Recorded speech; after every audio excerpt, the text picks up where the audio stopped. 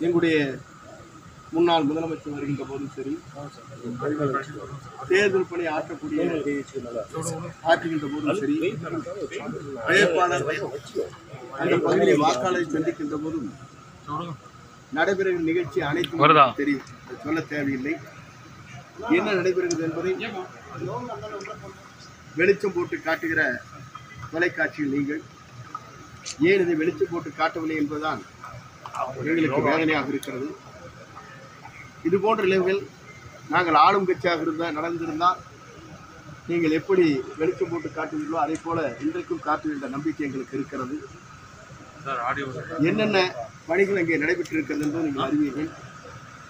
தேர்தலுக்கு செய்யக்கூடிய நிதி மொத்தமாக ஒரு சட்டமன்ற உறுப்பினருக்கு ஒதுக்கப்பட்டிருக்க நிதியை காட்டிலும் பல மடங்கு இன்றைக்கு செலவு செய்யப்பட்டிருக்கிறது என்பதை நீங்கள் கண்கூடாக பார்த்து கொண்டிருக்கிறீர்கள்.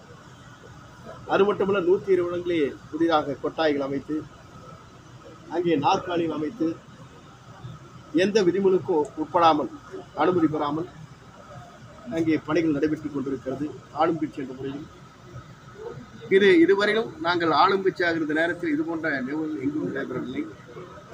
அனுமதி பெற்றுத்தான் நாங்கள் அந்த பணிகளை ஆற்றியிருக்கிறோம். அனுமதி பெறவில்லை என்றால் தேர்தல் அதிகாரிகள் உடனடியாக வந்து இந்த சாலைகளை பிரித்து விடுவார் இதுதான் நடைமுறையில் இருக்கிற நிலை.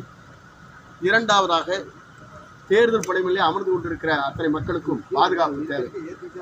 ஒன்று குடிநீர் நூற்றுக்கு மேற்பட்டவர்கள் அங்கே அமர்ந்திருந்தால் அவர்களுக்கு பாதுகாக்கின்ற வகையில் இந்த செட்டிலே இருக்கின்றவர்களுக்கு ஃபயர் சர்வீஸ் வேண்டும். திடீரென்று விபத்துக்கள் ஏற்பட்டால் அவர் உயிர் சார்ந்த ஏற்படுகளை ஏற்படும். ஆகவே அனுமதி பெற்றிருக்கிறார்களா? அல்லது அதற்கான விதிமுறையிலே ஃபயர் சர்வீஸ் வைக்கப்பட்டிருக்கிறதா என்பதை மாவட்ட ஆட்சித்தலைவரிடத்தில் நாங்கள் எடுத்துச் சொல்லியிருக்கிறோம்.